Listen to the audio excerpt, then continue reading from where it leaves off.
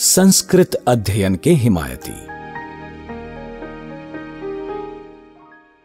सात जनवरी उन्नीस सौ चौरानवे बीएपीएस स्वामीनारायण संस्था के आध्यात्मिक गुरु, परम पूज्य प्रमुख स्वामी महाराज, प्रथम से ही सनातन धर्म के वेदादि शास्त्र अध्ययन के हिमायती रहे थे।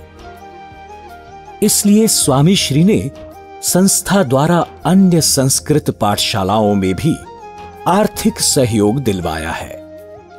उत्सव प्रसंग पर संस्कृत सम्मेलन भी करवाए हैं। संस्था के युवक एवं संतों को संस्कृत अध्ययन में प्रोत्साहन हेतु से संस्कृत पाठशालाओं का स्थापन भी किया।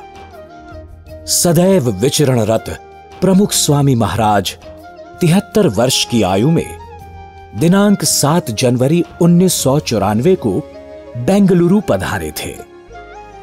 स्वामी श्री की आज्ञा से संस्था के कुछ संत यहाँ रहकर संस्कृत एवं अन्य सनातन धर्म के शास्त्रों का उच्च अभ्यास कर रहे थे।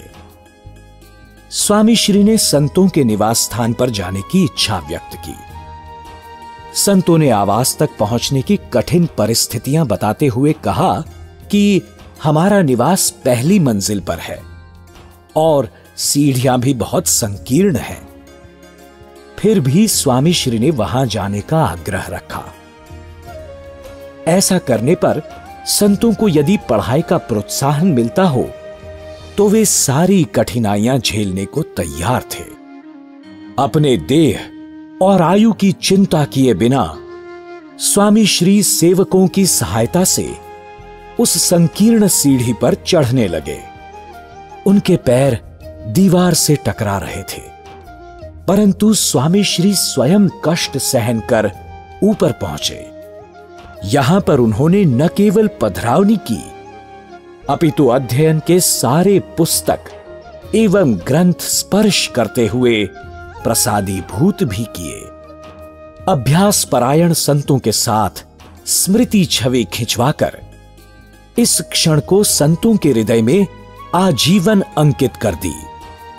ऐसे एक नहीं, परंतु अनेक प्रसंगों पर संस्कृत भाषा और हिंदू शास्त्र अध्ययन को अपने देह की परवाह किए बिना इतना प्रोत्साहन देने वाले संत को कोटि कोटि वंदन।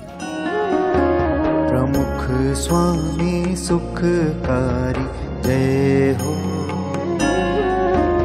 संत परम हितकारी जय।